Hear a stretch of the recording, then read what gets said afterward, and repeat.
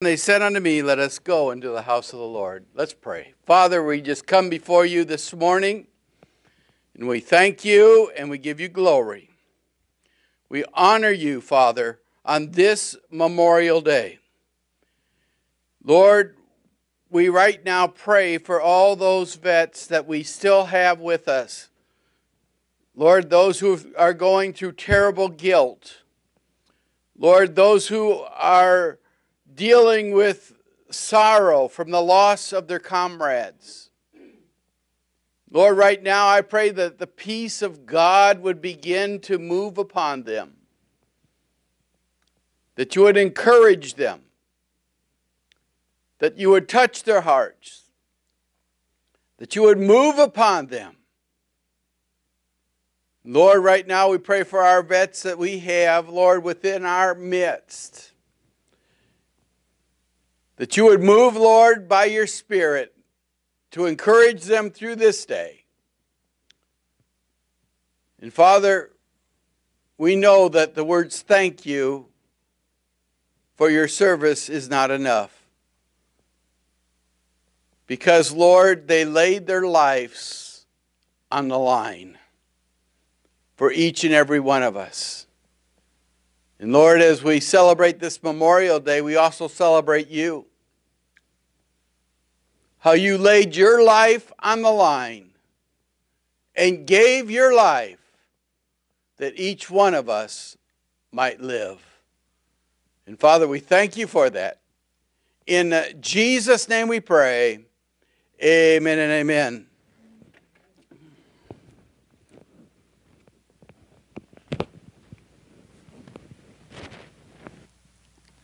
This is John 14 1. Let not your heart be troubled. You believe in God, believe also in me. Let not your heart be terrified. You trust in Jehovah, put your trust also in me.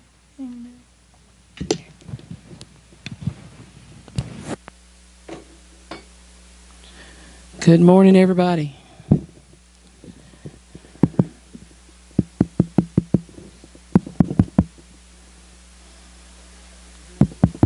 I'm unmuted. I already said it.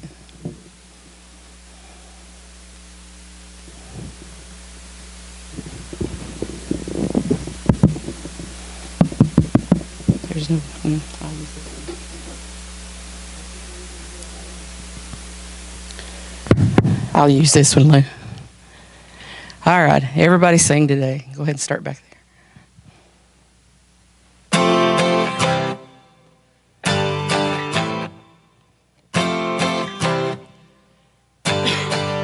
There's revival and it's spreading like a wildfire in my heart.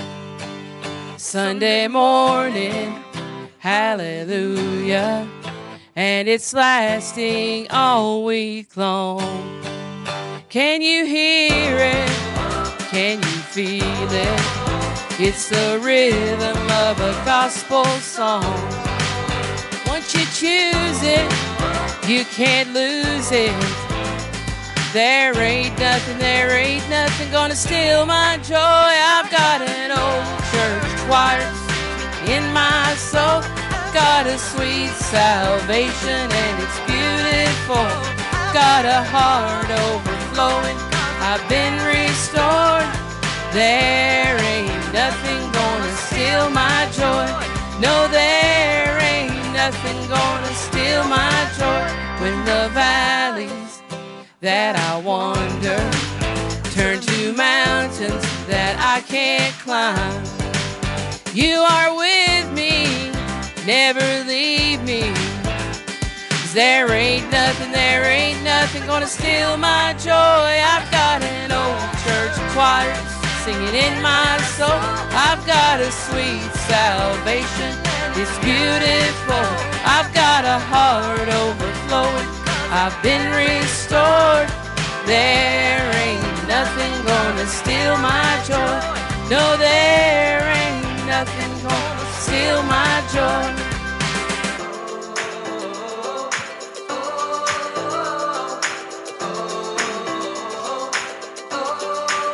Clap your hands and stomp your feet till you find that gospel beat. It's all you'll ever need, all you'll ever need. Clap your hands and stomp your feet till you find that gospel beat. It's all you'll ever need, all you'll ever need. I've got an old church choir singing in my soul. I've got a sweet salvation and it's beautiful. Got a choir singing in my soul. I've got a sweet salvation. It's beautiful. I've got a heart overflowing. So I've been restored. There ain't nothing gonna steal my joy. No, there ain't nothing gonna steal my joy. No, there ain't nothing gonna steal my joy.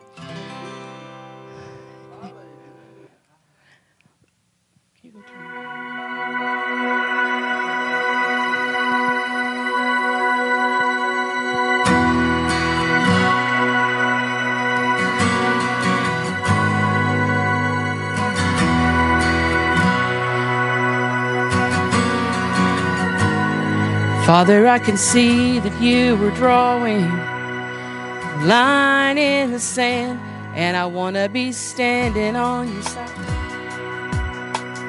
Line in the sand, and I want to be standing on your side.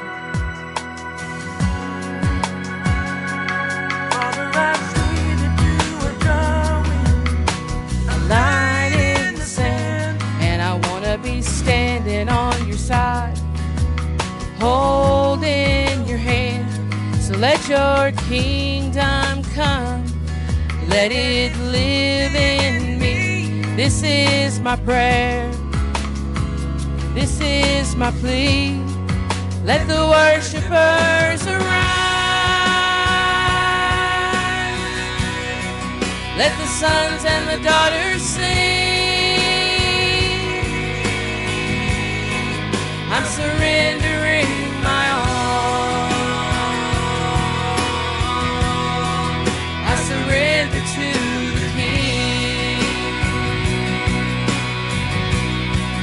Let the worshipers arise. Let the sons and the daughters sing. I'm surrendering my all. I surrender to the King. Father, I growing louder, the song of your redeemed, as the saints of every nation are awakening to sing. From our hearts there comes an anthem. Oh, hear the heavens ring. This is our song. Song to our King. Let the worshipers arise. Let the sons and the daughters sing. I'm surrendering my all. I surrender to the King. Let the worshipers arise. Let the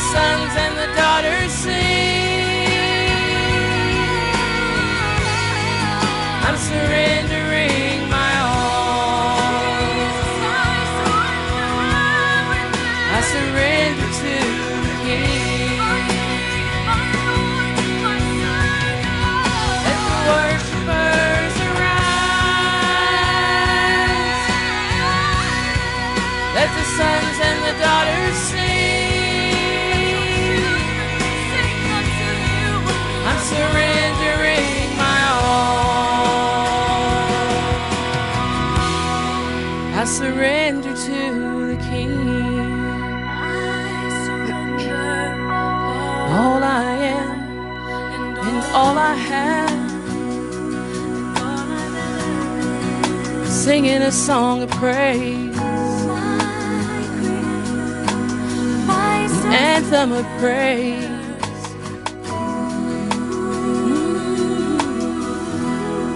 Mm. I surrender to the King.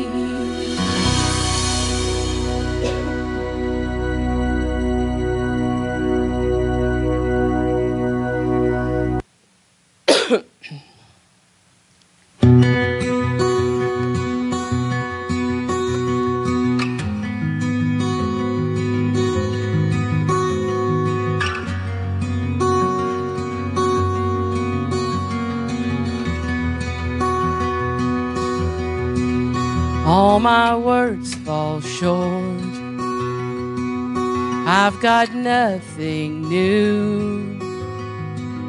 How could I express all my gratitude?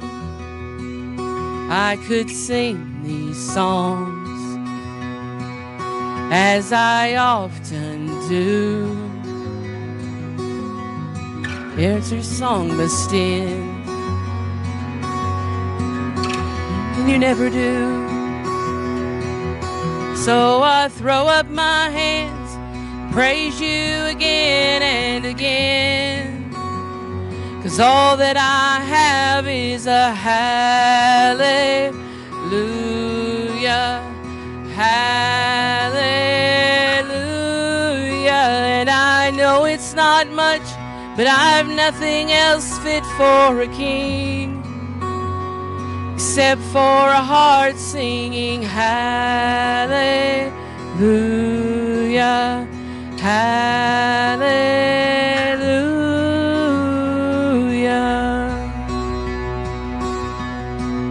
I've got one response. I've got just one move with my arms stretched wide. I will worship you. So I throw up my hands, praise you again and again. Cause all that I have is a hallelujah, hallelujah. And I know it's not much but I'm nothing else fit for a king except for a heart singing hallelujah, hallelujah.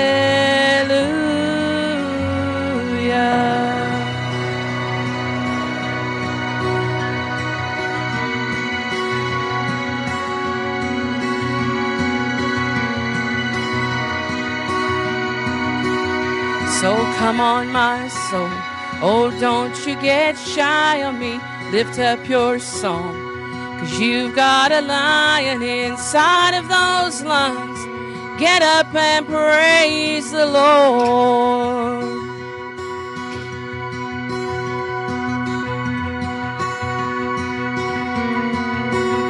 So come on, my soul.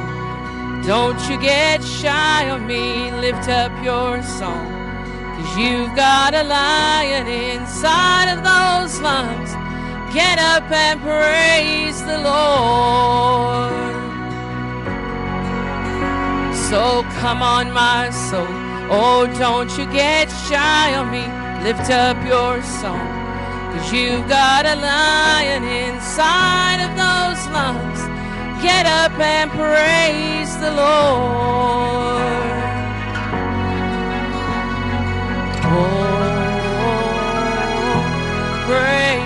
Praise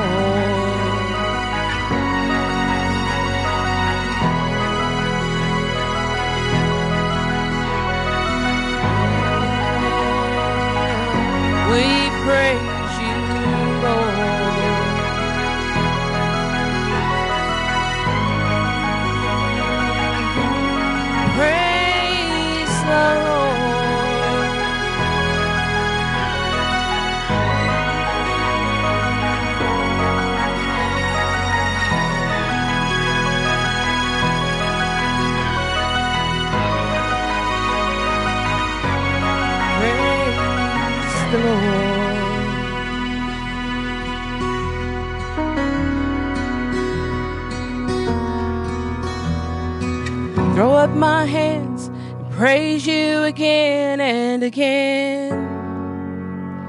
Cause all that I have is a hallelujah,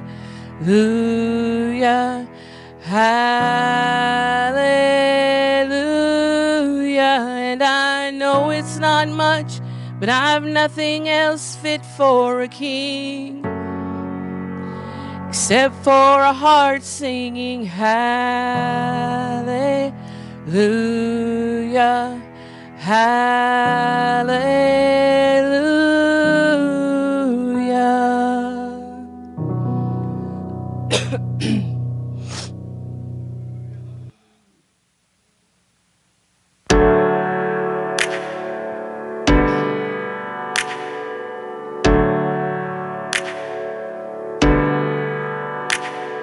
I have tasted all that this world has to offer. The here and gone that leaves you wanting more, you can't satisfy. Father, forgive me for taking so long to see you're all I need with every heart beat in my chest. Lord, I surrender all that I have. The days yet to come, the days in the past, I'm giving you all I am with lifted hands, with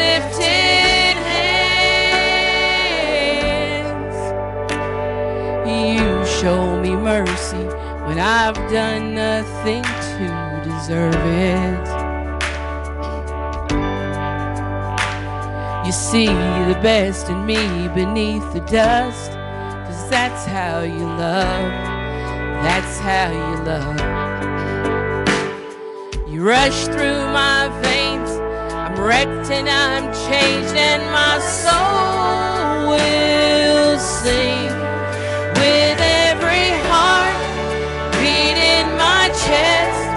Lord, I surrender all that I have.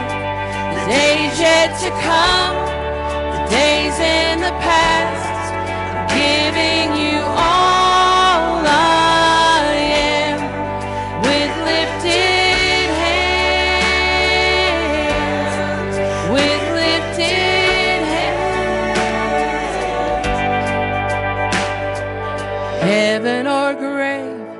there is no place I can go to escape your love. Heaven or grave, there is no place I can go to escape your love.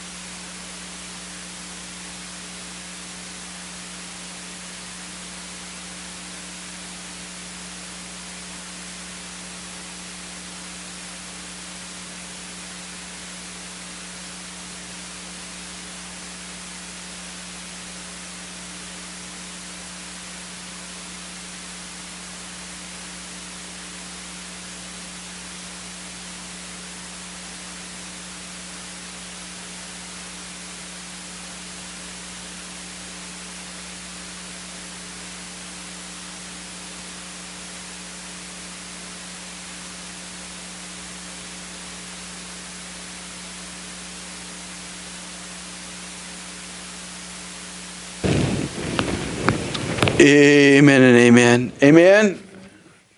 I mean, the Lord's good? I uh, want to continue with some of what I talked about last week, but I should have never started going through some of my books to find duplicates because I found some gems. Uh, and I've, I found some books that I, I'd forgotten I had. Anybody li- like that? You just found, and it's become a treasure trove. And as I was beginning to do things and looking at this, I was able to find a book that I had been able to purchase at a Corrie Ten Boom rally. Any of you know who Corrie Ten Boom is? Although it wasn't by Corrie Ten Boom, it was by a renowned Jewish man who I'm going to talk about this morning. And as we look at Memorial Day, I think we need to understand that we need to thank God for those who have been moved by His Spirit and gone before us to clear the way for us for the Lord to do a, a mighty work within us. How many of you know what I'm saying? And I, as I began to look at that, uh, last week we talked about the paranoia of being too occupied with Satan. How many of you know what I'm saying?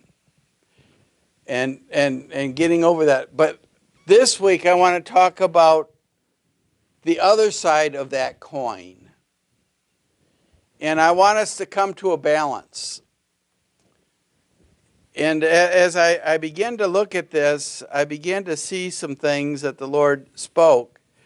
And one of the scriptures that I ended with last week was from 1 Timothy chapter 2, verse 18. 1 Timothy chapter 2, verse 18. Therefore, we wanted to come to you, even I, Paul, time and again, but Satan hindered us. That's an amazing statement for Paul. And I go back this morning to an author that I spoke about, and I'm going to speak about three or four different authors today um, because they just hit me uh, very hard. And, and the one that I spoke about last, last week was F.F. Bruce. And some of you said, I'm going to look this guy's up. How many of you looked some of his stuff up? Uh, he's, he's an amazing man. But F.F. Bruce said that Satan's main activity is putting obstacles in the path of the people of God to prevent the will of God from being accomplished in and through him. How many uh, think or know that you've had some obstacles recently in your life that are intended to hinder you from the will of God being performed within your life? I was watching some of the pre Olympic trials this week. In one of them, for lack of a better word, and, and I, it may be called this, I don't know, was like a steeplechase. They were running, they did hurdles, they jumped over water, they did all kinds of stuff. It was all kinds of obstacles. And during this time that they were racing, they would go and one would hit a hurdle. Oh, that's going to slow that person down. That's an obstacle that, that slows them down. And then they would run, jump over these ponds of water and they wouldn't quite make it and they would hit the water. Oh, that's going to slow them down. But the funny thing about all these runners is not one of them quit because of the obstacle. They all kept going until the end. I believe that we as people of God need to understand that we need to keep, keep going until the end.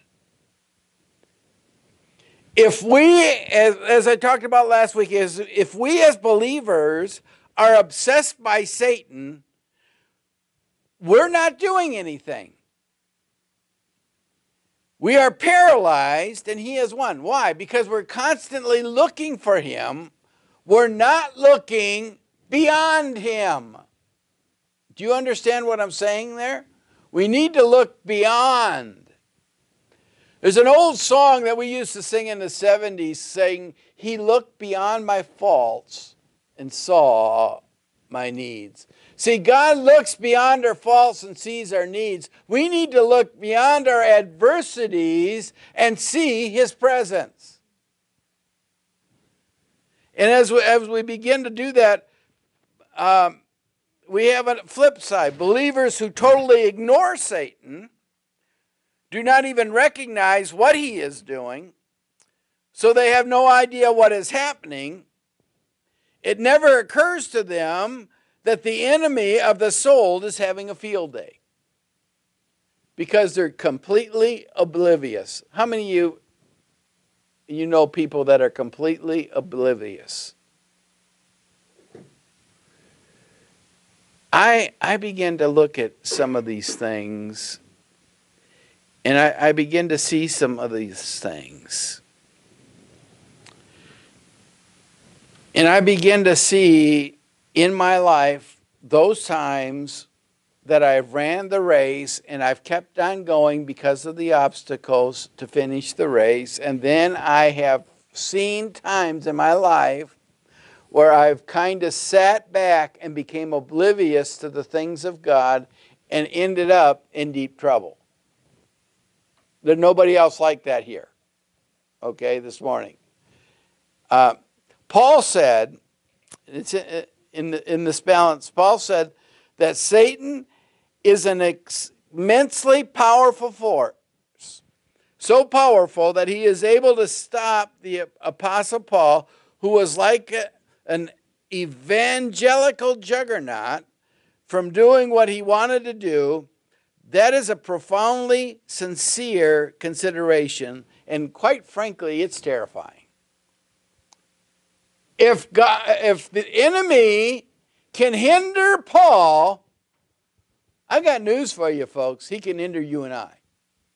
And as I looked at some of these things, and I, I just um, was amazed at some of these things. I uh, told you in the beginning that several years ago I was able to go see Corrie ten Boom, and, and how many how many of you know who Corrie ten Boom is? You know, uh, she was a Jew in a concentration camp that accepted Jesus and and, and stuff, and it was at a, a Holocaust or Holocaust uh, conference that I was attending, and there was some other people there who weren't Christians, but were were part of the Holocaust the man that book that I bought was recommended to me by some Jewish folks. He's not messianic by any means. This man wrote 57 books during his lifetime. And as we memorialize, how many of you know that we need to memorialize those people who, whether they're in relationship with the Lord or not, give us enough wisdom so that we can find a path to the Lord. Now, I don't know whether this man knew Jesus or not. I can't tell you. But he said some amazing things. His name was Elizer Elie Wiesel, or Elizer Eli Wiese, V I Z I. He was born September 30th, 1928, and he died July 2nd, 2016. Elie was a Romanian born Jewish American writer, professor, political activist, Nobel laureate, Holocaust survivor, and Nobel Peace Prize winner. If you go on the internet and look up this man, there are multitudes of quotes that he has quoted over the years, which makes me think that he might have had some relationship with Jesus. Can't prove that, yay or nay. But how many of you know that we're living in the day of Laodicea? Lukewarmness. And one of the, as I kind of flipped through some of this book that I was looking through, uh, one of the quotes that he said this The opposite of love is not hate. Now that got my attention. How many you know? The opposite of love is not hate, it's indifference, lukewarmness. The opposite of art is not ugliness, it's indifference. And here's where it gets interesting the opposite of faith is not heresy, it's indifference. And the opposite of life is not death, it's indifference. Indifference. He goes on to talk about indifference. Why? Well, let me tell you a little bit about Elie Wiesel. He was born in Hungary or Romania grew up during the war in prison in Auschwitz and said something major to me. He said, not, not only Jews, but everyone in the world if they would not have been indifferent to what was going on, some of the Holocaust would have never happened. Can I say something to you? If the church begins to stand up and stand firm, some of its problems will be overcome. We are in a race. It's a marathon. It's not a short race.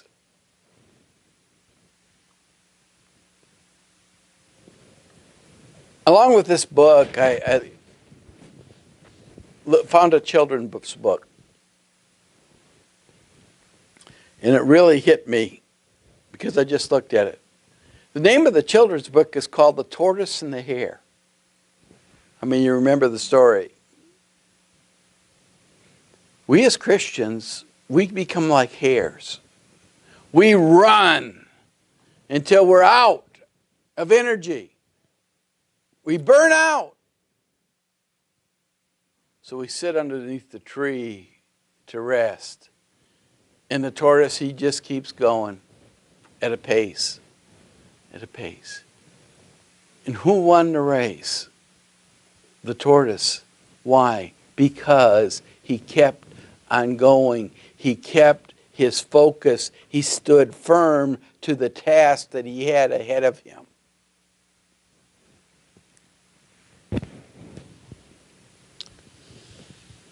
Indifference.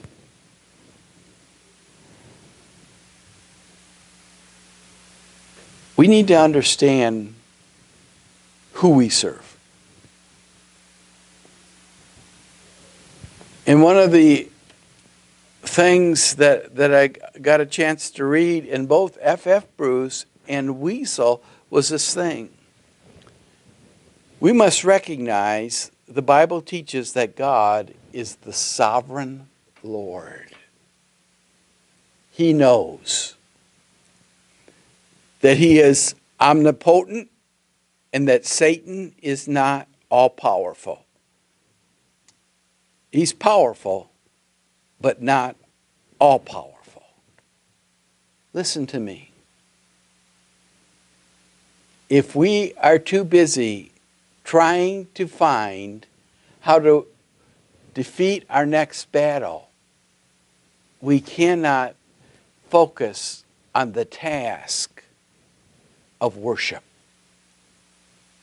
because we're too military minded. That blew my mind.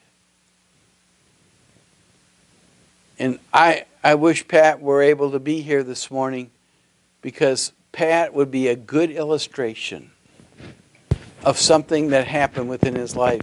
In his younger years, he was very military minded.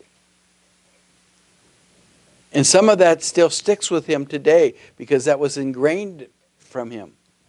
But in his later years, he's not so much military minded as spiritually minded a spirit of discernment, a spirit of, of, of love. We need to understand that God is omnipotent, He's all powerful. But Satan is not all powerful. We give Satan too much credit. A lot of things that we blame on Satan, we cause by ourselves. Well, that doesn't mean that there is not a, a, a devil running around and, and trying to do stuff. Because there's balance, and, and we'll get, get to that here in just a minute. He's knowing, Satan's knowing, but he's not all knowing. He doesn't know everything. He's very real. He's a very real presence, but he's not omnipresent. Listen to me. Satan picks when to come at you, and he will always come at you in your weakness. He will not come at you in your strength. Why? Because your strength is not yours, it's God's.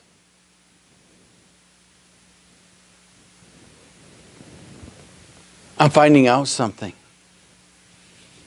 there is an importance to running the race with the Lord and gaining our strength to the Lord to be able to offset the advances of the enemy.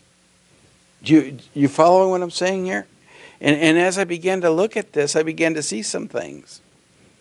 See, Peter says that the devil is like a roaring lion, lion seeking who he may devour. Right? I am not afraid of the roaring lion. Why? I know where the roaring lion is. What I am afraid of is that lion that's sitting there and sneaking up and sneaking up. And this is the way the devil will do it.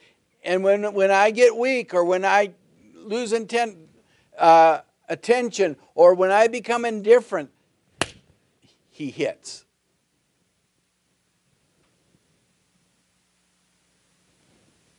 And I began to look at this graphic uh, devil like a roaring lion seeking whom but this roaring lion is on a short leash.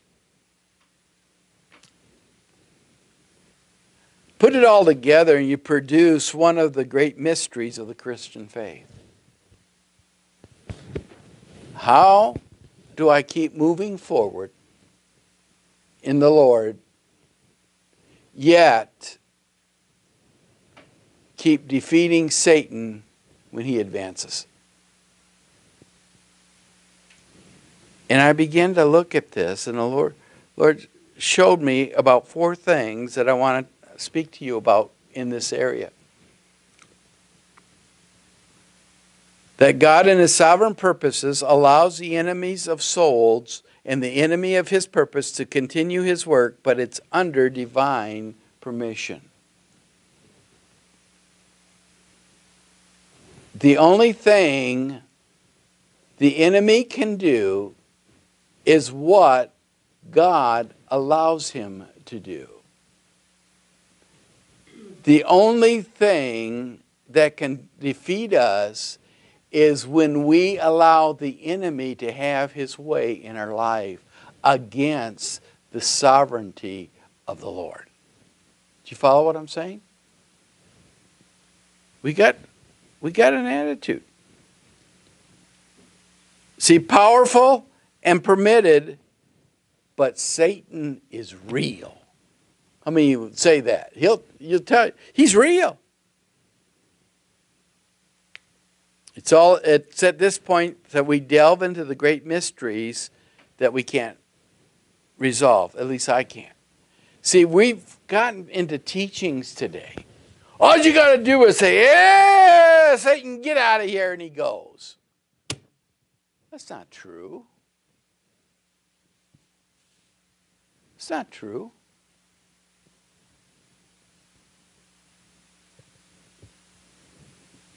The one thing that we need to know is we need to know who Jesus is. We need to know who God is.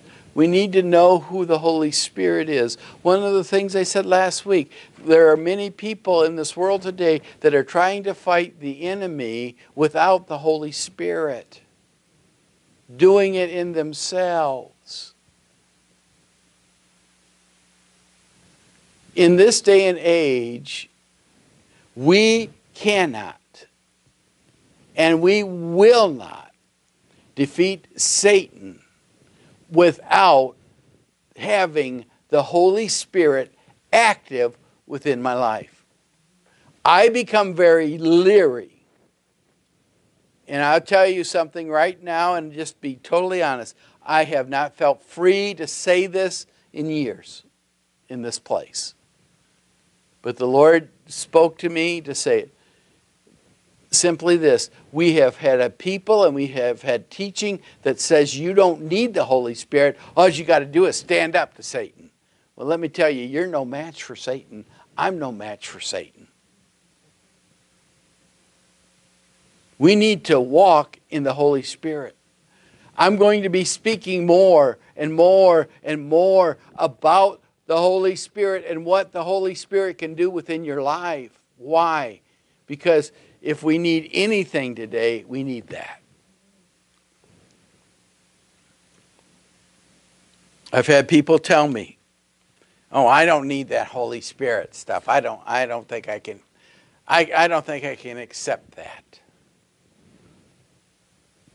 You know, I have the Holy Spirit. You have a portion of the Holy Spirit when you come to Jesus. You do not have the fullness. And I'm beginning to believe more and more and and please don't misunderstand me here. I am in no way oneness in my thinking here. But I believe more and more that we cannot survive without having the Holy Spirit so active within our life to ward off and give us a, a mindset that tells us when the obstacle's coming so that we can defeat the obstacle.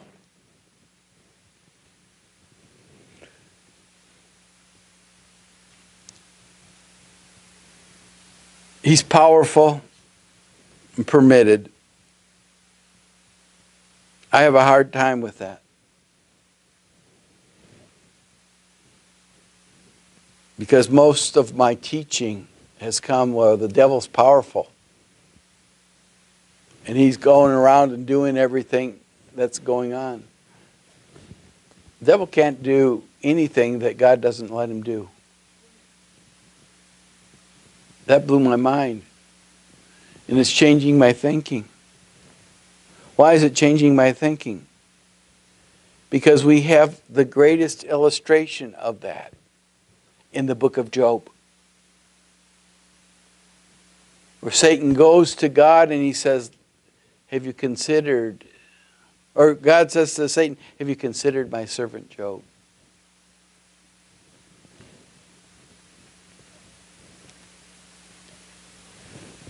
See, it leads me to remember that we're in a spiritual conflict and that our, our opposition is enormously powerful and that we do not mess around that we do not goof off.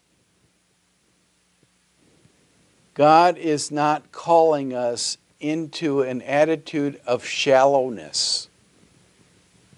He's calling us into an a- attitude of depth to know Him, to know who He is.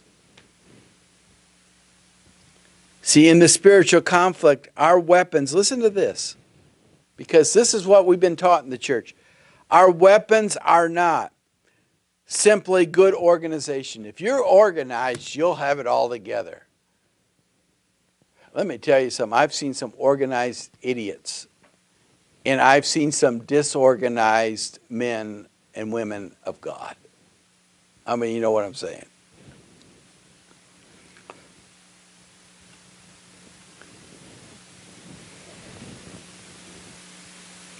Our weapons are not meticulous care to detail, formulas. The church for too long has taught formulas. What's formula for? A baby. I would rather have meat. You understand what I'm saying? And in the New Testament, he says, "Boy, I, I'd love to teach you meat, but but you're you you you got to get uh, off the milk. You got to break your bottle habit." And this this blows me my mind because as long as I, I spoke these things and, and done these things, Lord says there's still some habits that you have that are bottle feeding. They're shallow. And you need to break off that and begin to eat something that is good and healthy and nutritious. Now I'm going to get right to the point uh, because I want to say this one and I, I haven't put it in.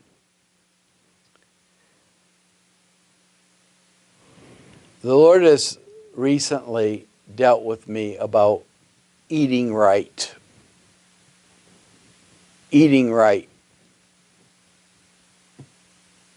And I'm doing a better job of eating right.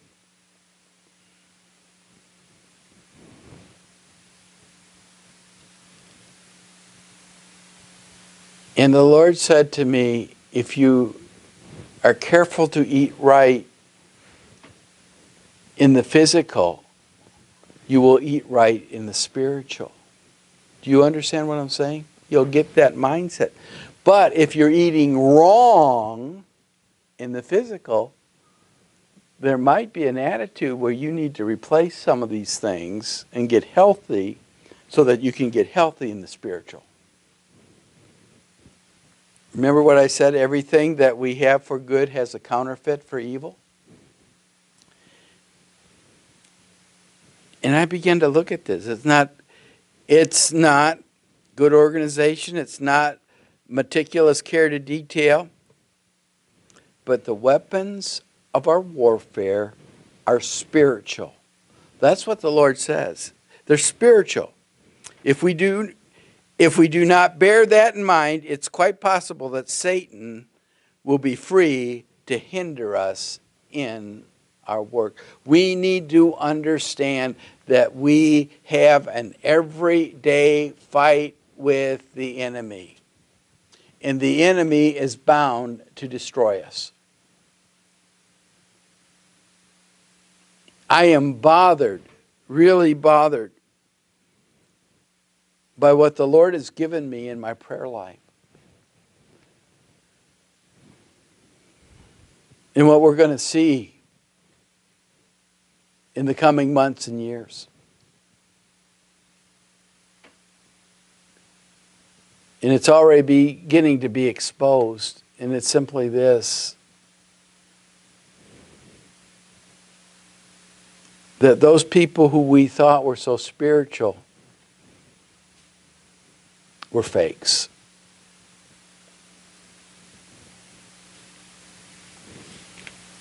We're fakes. And it's going to turn a lot of people off to the things of God. I feel sorry for those people when they have to answer to the Lord. I want to be real. I want to be real. In the last few months, I've caught myself saying things, and even I said it this morning, and it bothered me because the Lord's dealing with me in this. You know, you know what? Three words that will kill you. You know what they are? I don't care. I care. But we get an attitude of ego in the flesh, as we talked about last week, and we walk into that and we don't care because, after all, I'm a man of God or I'm a woman of God, and you got to understand that because I'm a man of God or I'm a woman of God, I have authority over the enemy. Boy, when you get to that point, you're in deep trouble. The enemy has some people absolutely bamboozled. They think that they're serving God. They think that they're worshiping the Lord, and what they're actually worshiping is their self. And if you can't handle that, maybe you're part of it. Because I'm going to tell you something. I get to that point every once in a while where the Lord has to take me down a peg or two. And I hope you don't because it doesn't feel good.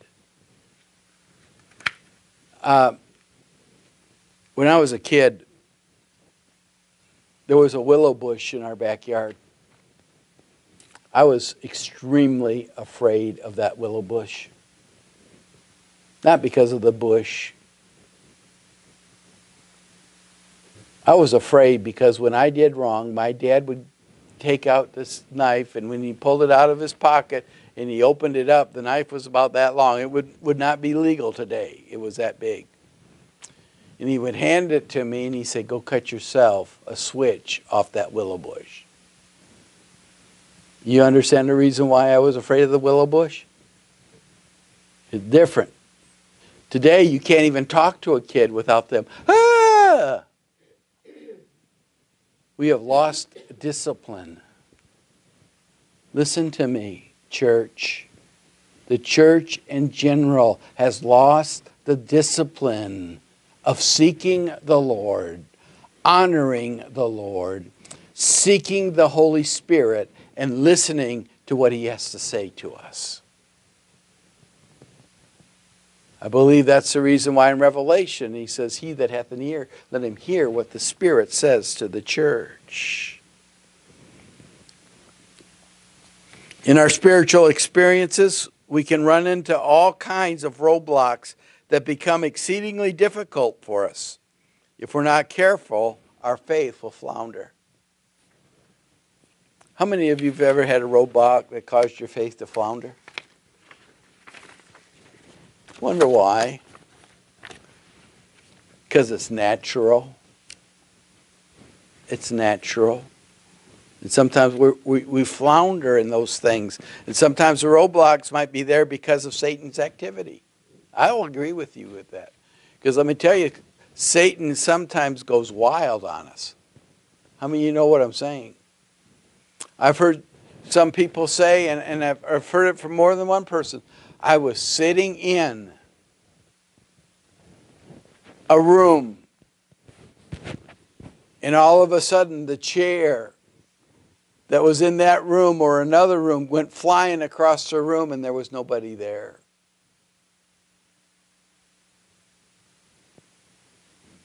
Or I was sitting praying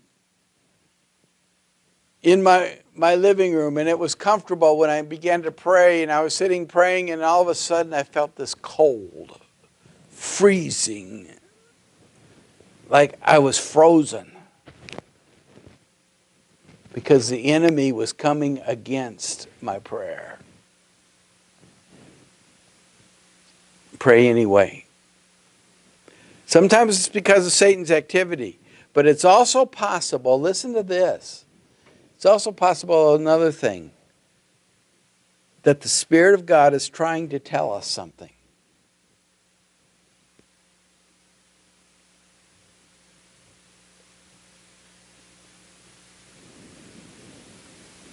How many of you know about the prophet?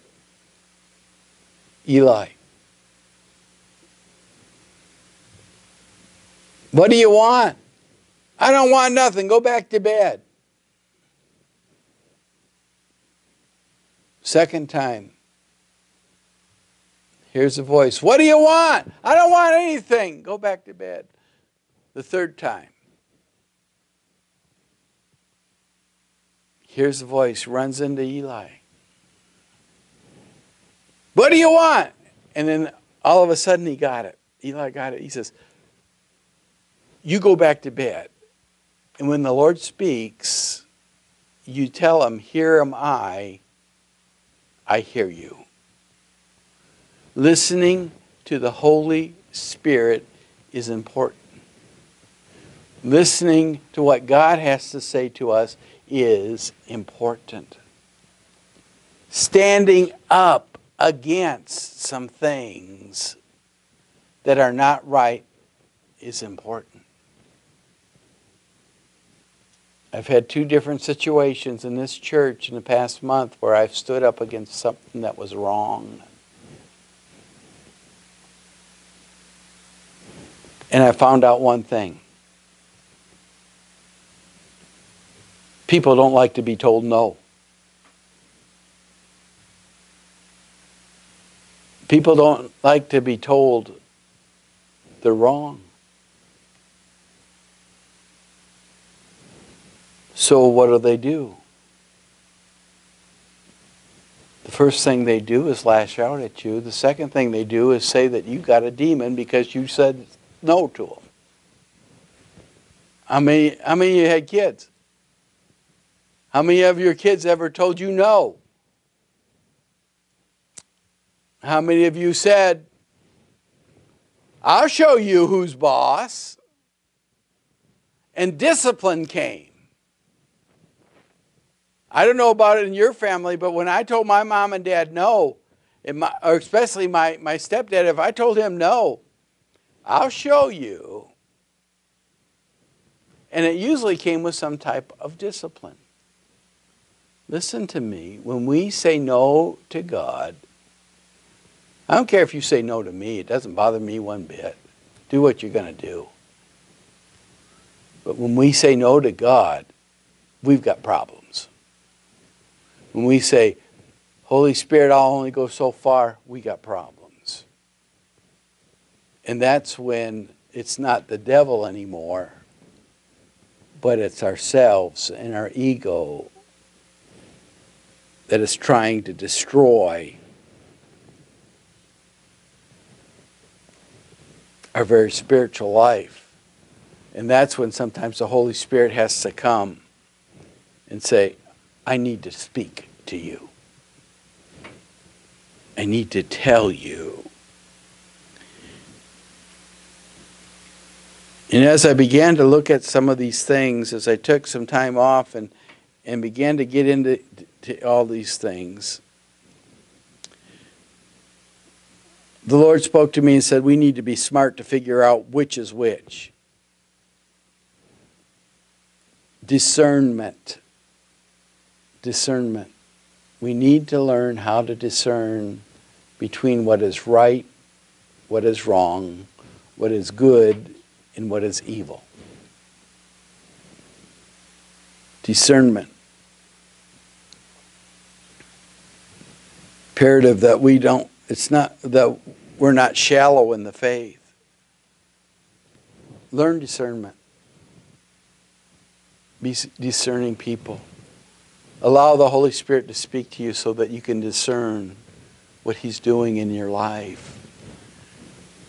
And, and, and what, he, what he's encouraging you to do, to stand firm.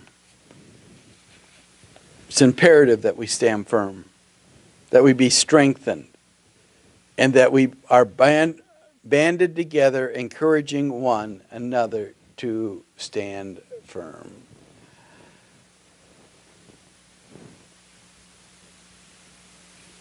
How many know we had some storms this week? How many you seen some of the damage?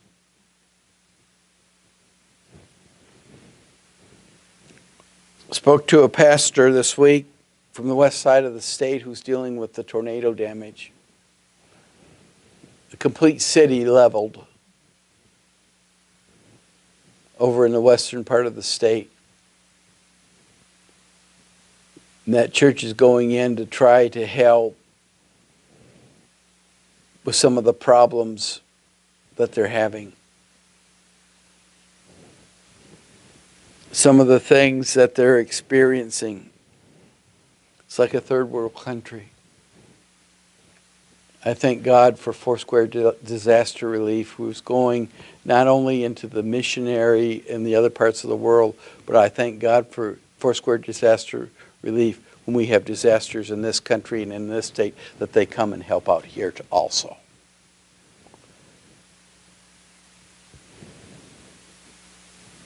And it hit me about standing firm and banding together. Sometimes we need to stand firm and pray for one another. How many know what I'm saying? Here's the part that we don't like.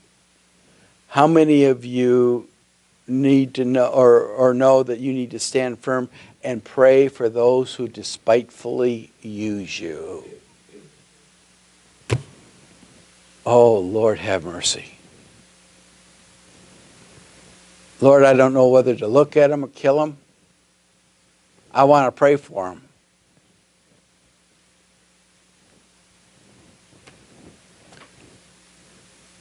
I had somebody say this to me I'm praying the devil out of them. You can't pray the devil out of anybody except yourself. Do you hear what I'm saying?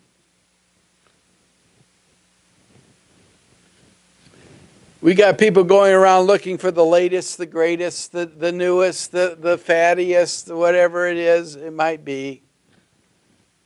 And God is saying, Look to me. Look to the oldest. Look to the one who is eternal rather than your new fad. I, I thought about society today, and I kind of got mad. Kind of got mad.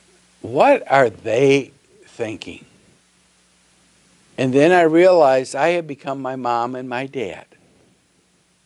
Because the things that we did when we were young, they were saying, What are they thinking? How mean, you know what I'm saying? I walked down the street, I seen a purple hair, I seen a pink hair, I seen a blue hair, I seen a green hair, and I seen a bozo hair, which means it had all different colors and stripes down the kid's hair. And I looked at it, I said, What in the world are they thinking? And the Lord stopped me instantly and say, It's not what they're thinking, it's what you're thinking now pray for them in an attitude that I can touch their hearts. God doesn't care what kind of hair you got. In the Pentecostal church several years ago, the women were known by the holiness by the higher their hair bun. And I'm, I'm not kidding you. And they would have it shake. And I remember when I was a kid, dodging bobby pins. Because they would shake that thing and it would be up there and bobby pins flying all over the place. But that was a sign of holiness. It's not what's on the outside it's what's on the inside.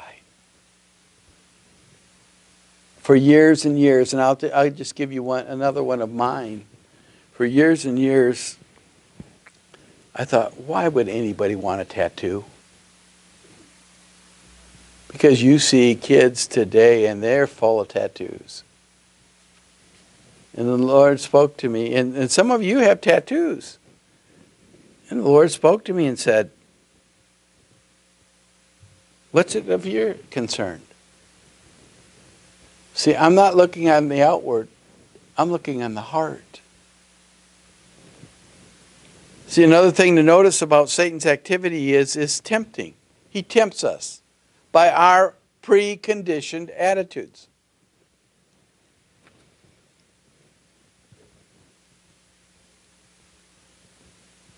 I know some of you feel this way, and I'm going to say it. You ready? And, and I'm gonna I'm gonna expose myself this morning in this. And if you don't like it, I'm sorry. For you, not for me.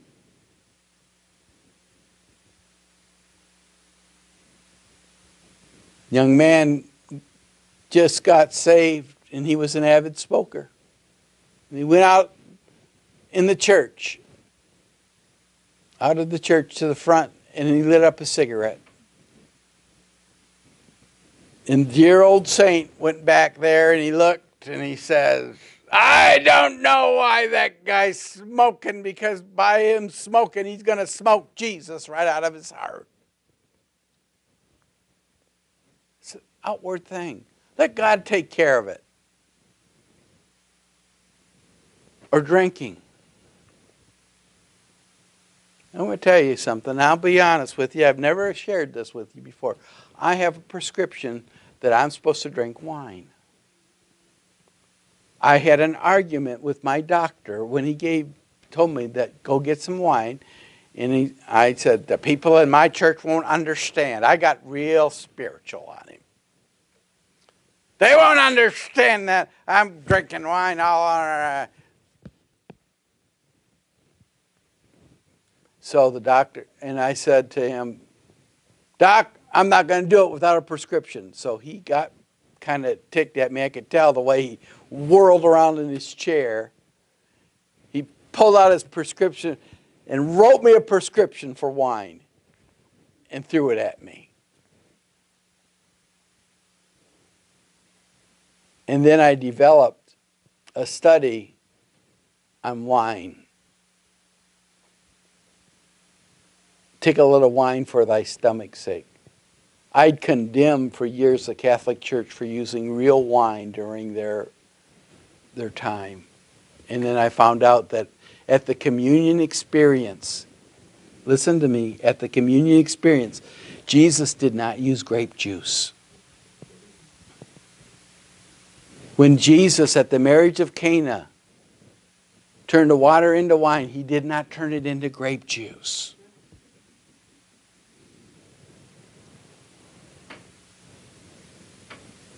It's not what's on the outside. It's not what you think that matters. It's what God thinks. And God's not looking at the outside, He's looking at our heart.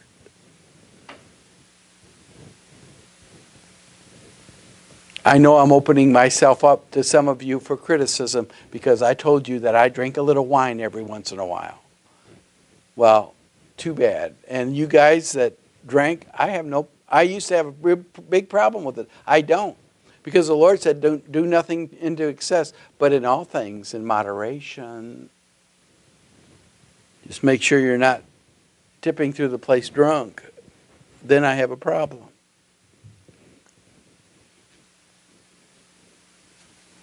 See, Satan puts very tempting opportunities in front of us, which is, if we go through with them, will deliver us into a spiritual shipwreck. And what I'm saying is our spiritual uh, legalities and our spiritual attitudes and our spiritual precept, and they will lead us to shipwreck every time. Yet, every temptation to go wrong is also an opportunity to do right. Where's your heart? Where's your heart? When we see somebody else that's caught in a fault, don't look at their fault, look at their, what their heart is. Because I, I, I have some bad news for some of you that think that you're, you're so perfect. And that is simply this you will fall. But here's the good news God doesn't look at your falls, He looks at your heart. And I began to look at that. See, that's, that's the reason why you read in the New Testament about temptation and testing the same Greek word, peirasmos. is translated temptation and testing. A temptation becomes a test when instead of succumbing to the temptation, you say no and you come out stronger.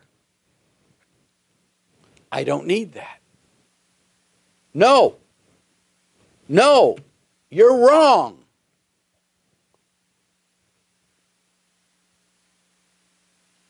No. And in the haughtiness of some people's spirit,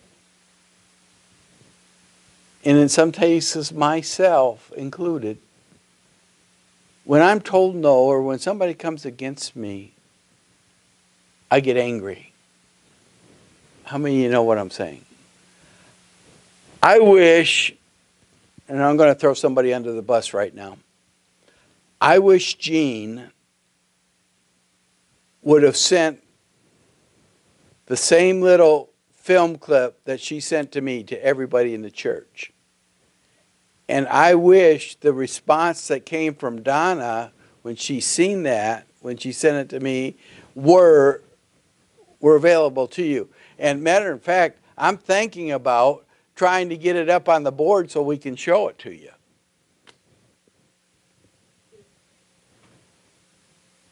talks about trials and temptations. And when evil comes your way, how to deal with it. And it's this cat that has a real bad attitude. I mean, you know what I'm saying? How many come against people with a real bad attitude? That's the cat. And there's this puppy that runs up and, and, the, and every time it would run up to the the, the cat, the cat would slap it. And the little puppy would get excited, run around and chase its tail in all excitement. He wasn't bothered by the cat. He was excited about something that he had that the cat didn't and that's joy. The joy of the Lord is my strength. And I just see, and the caption was that that Jean said, "I'm throwing throwing you under the bus." Here, the caption was, "I wish this was my reaction when I come against people that are angry and have bad attitudes." Pretty much, paraphrase. And all of a sudden, I think you, you only sent it to Donna and I, right? All of a sudden, Donna responds, Yeah, I want to see a video of you chasing your tail. But listen, that dog was chasing his tail. We need to be chasing or following the Holy Spirit who brings us joy. He's our joy. He's our peace. He's our long suffering. He, I've got something that the cat, the world doesn't have, and I need to be rejoicing over it. And I began to look a little bit further. There's a reason why we need to encourage one another to stand firm. See, right from the beginning, Jesus said, if you're going to be my disciple, you need to lift up your cross and follow me. Why must we recognize that there will be all kinds of suffering? Because there is. We, we talk about suffering, and we, we love to talk about baptism of salvation, right? We love to talk about water baptism. We love to talk about the baptism of the Holy Spirit. And most of us stop there. But there's a fourth baptism. And that is what? The baptism of suffering. What did Jesus say about that? You are baptized into his suffering. You will suffer a little bit. You will get a little bit put out. Seeing Jesus, in some mysterious way, learned obedience through the things that he suffered. That's what he said. I learned obedience through the thing that I suffered. How do we think that we can learn to be obedient without suffering? Oh, God, you're a beautiful God. Hallelujah, hallelujah, hallelujah. That is so superficial. But when we are in the battle lines, when we, we're red hot in the battle lines in the spiritual battle, you're going to have some suffering. You're going to get wounded. You're going to get beat up. You're going to get hungry. You're going to get tired.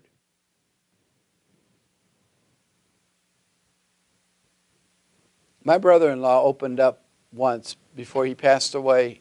He opened up once to me and he said this. He said, When I was in Vietnam, there were times that we would go three and four days without sleep. And we learned how to do it. We learned how to do it. Because we knew the enemy was right outside our gate. Listen to me.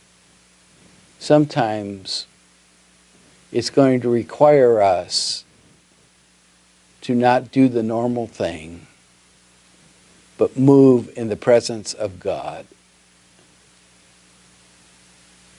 And let me tell you something.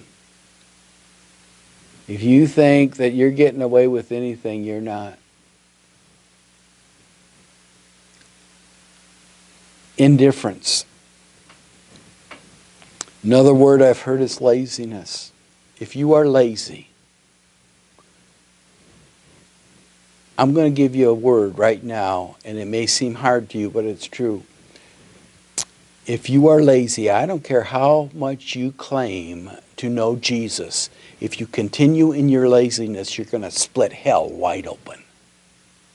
And if you think that I'm kidding, look at the parable of the talents. I went out and hid. I, I hid it. I hid it. I hid it. Depart from me, you what? Wicked and slothful, lazy servant. We cannot be lazy in the kingdom of God. And if laziness has overtaken you, get out of it. Repent of it and, and start doing it because you have given up the very valuable prize that Jesus has given you. that may sound like a harsh word, but it's the truth. Donald Carson, in his book, How Long, O Lord, says if even Jesus learned obedience by what he suffered, what ghastly misapprehension or arrogance is it that assumes that we should be exempt? We are not exempt. I don't like to do everything I do. How many of you like to do everything you do? How many of you get a little irritated at some of the things that you have to do? I call them watts.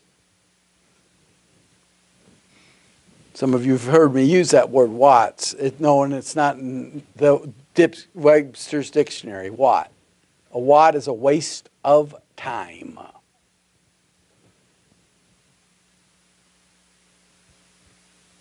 I had supervisors when I worked that had to have meetings. And the reason why they had to have meetings is because they had to justify their job.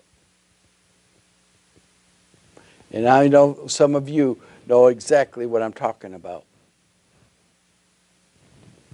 And what took three hours could have been done in three minutes.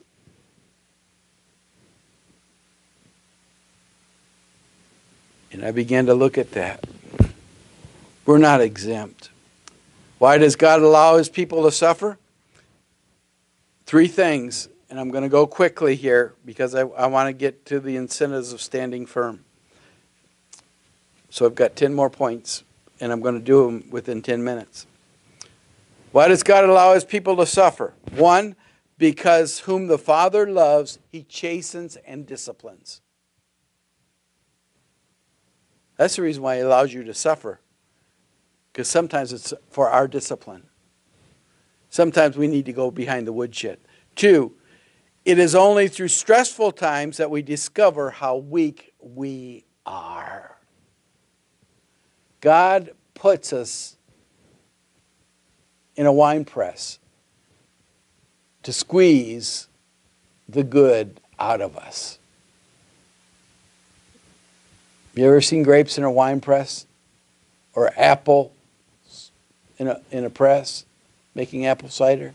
And they just turn that and it presses and presses and stresses, stresses, and all of a sudden the juice just flows.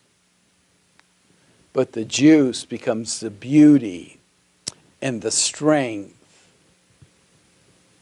that goes on to nourish people. Thirdly, it's only when we discover our weakness that we discover what it means to be strong in Him. In Christ, we learn to stand firm and we encourage each other to do it. We need to encourage each other to stand firm in the faith. What are the incentives of standing firm? I'm going to give them to you real quick. I'll do six of them. First, your incentive of standing firm is knowing that you're not alone. That helps. You are not on an island alone. There are people praying for you. I made it a point this week, especially in just going down, praying first for those who I've had falling out with. I prayed for them. Then, second, I prayed for acquaintances. And third, I prayed for each and every one of you in this church this week that God would show you that you're not alone. And I'm not talking about God walking with you, which He does. I'm not minimizing that at all. But I want you to know that we need one another and to pray for one another and to minister to one another, touch one another's hearts. The second thing is knowing that you're prayed for. That's helpful. Knowing that you're prayed for. I encourage you to, to do these things. Understand that you're not alone, that people are praying for you, and the second one is you're praying for other people. It's important. The third one is knowing that you stand, uh, that how you stand firm affects other people. If you collapse, they collapse. If you stand firm, they stand firm.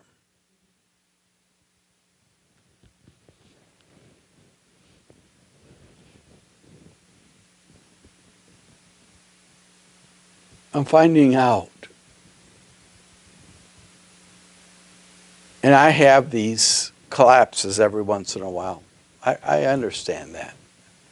But I'm, I'm understanding, I'm also beginning to understand that I need to understand that I don't need to collapse. I need to trust Jesus. I don't need to take these things to heart. I don't need to be an emotional roller coaster. I need to stand firm. Because if I stand firm, people will see my faith and they'll stand firm with me. But if I, when I give up and I keep giving up and I keep giving up, why should I pray for them? They just give up.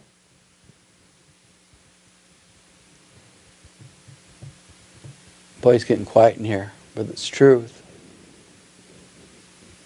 Don't collapse. Because if you collapse, you might have other people that collapse. If you stand firm, they'll stand firm. Fourth, knowing that a genuine work of grace produces people who stand firm. You are saved by grace.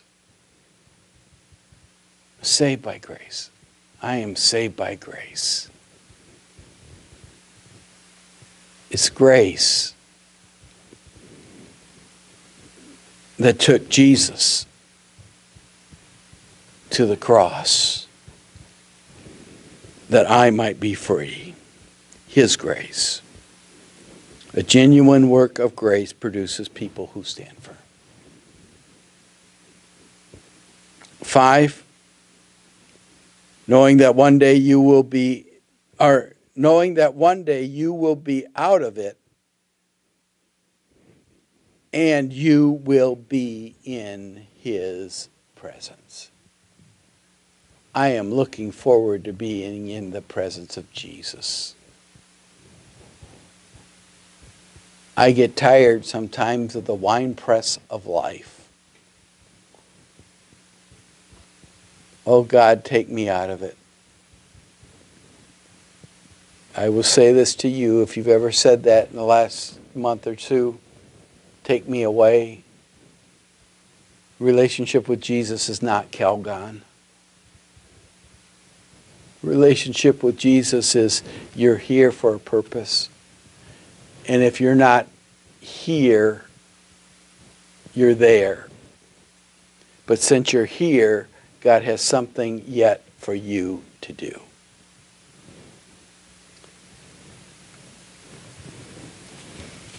And lastly, knowing that God is working in your life in such ways and with such means that He might present you holy and blameless. That is what He's working towards within you. Let me tell you something. As much as Satan is working, God is working more.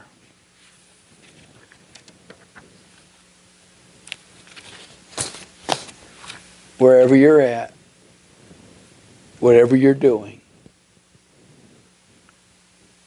I want you to know His grace is sufficient for you.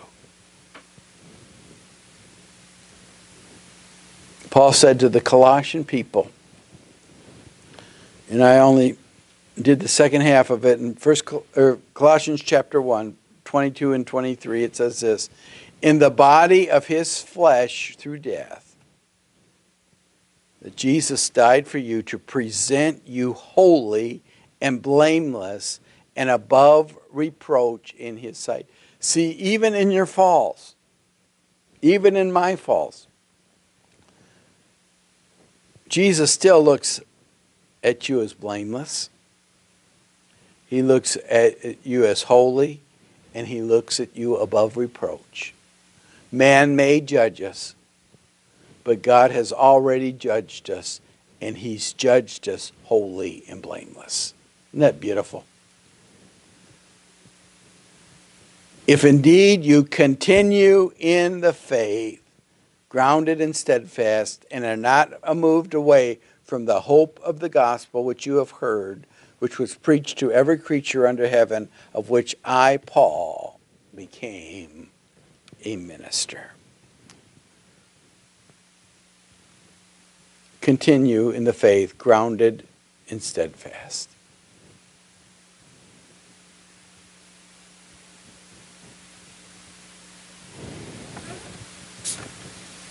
This week has been a difficult week for our state. In the tornadoes and the storms and all the water we've had,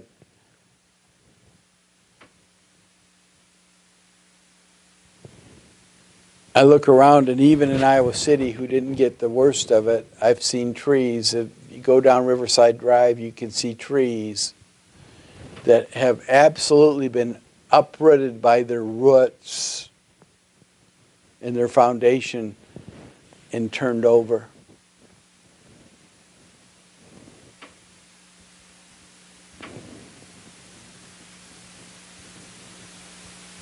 Not all big trees, some of them smaller trees. But then I see some big trees. And those big trees are still standing firm. And I can only think I shall be like a tree by the waters. I shall stand. I shall stand. That the floods of life will not destroy me, will not uproot me, because I am rooted and grounded and based in Christ Jesus. Amen? That's what he wants. That's his desire. Let's pray. Father, we thank you for your word. Lord, let your word be rich in our life, touching us, encouraging us. Let us understand, Lord, there's a correct way of understanding the battles that we go through. Give us discerning hearts that we would discern, Lord, the presence of the Holy Spirit. Give us attitudes of love, to love one another, encourage one another, bind up one another. Lord, right now, in the name of Jesus, There are some here, including myself, Lord, who have had difficulties with others. And Father, I, for myself, have decided to pray and love them, whether they return it or not. Because you, that's what you told me to do to, so that I can stand firm. Give me a discerning heart.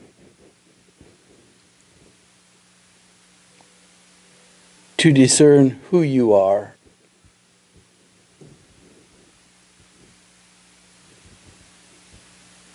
Give me, Father, a joy that passes understanding when the evil one comes at me. And Lord, when he swats at me, that I would go and get excited because I know that if the enemy is bothering me, I must be doing something right. And that I would spread joy. And Lord, that my heart would be moved. And that I would walk in integrity of heart and stand firm in my relationship with you. And Father, I thank you, Lord, when I falter, that it's your grace that causes me to stand firm when I can't. In Jesus' name we pray. Amen and amen. Amen. How many you know that God is good?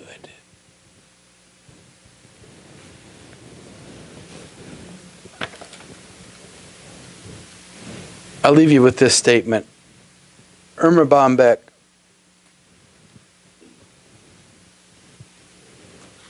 wrote a book, said, The grass is always greener over the septic tank.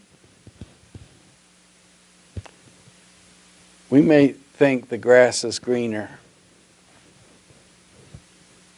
by giving up and, and following the attitudes of the world. And it might be easier. But I'm going to tell you something. There's no greener pasture. There's no better place of feeding than at the feet of the Master. Amen? I don't want the septic tank stuff. I want the stuff that is from the presence of an ever loving God. Father, we thank you for that. In Jesus' name we pray. Amen and amen. I'm here to pray with you, here to minister to you.